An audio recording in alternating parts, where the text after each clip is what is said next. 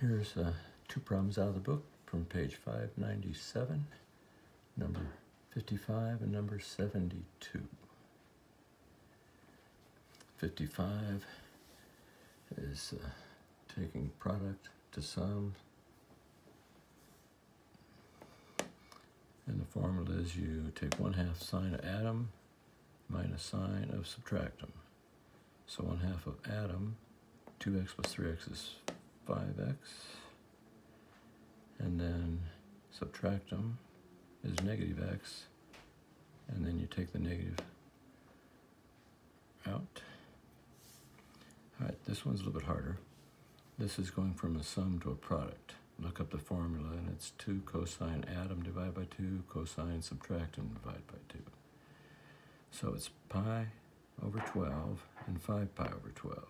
When you add that, you get 6 pi 12, which is a half, but then you got to cut it in half, gives you a fourth.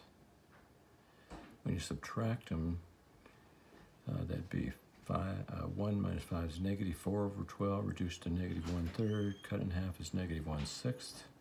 So it's 2 times the cosine of pi over 4, which is root 2 over 2, times cosine of negative 1 sixth pi, which is root 3 over 2.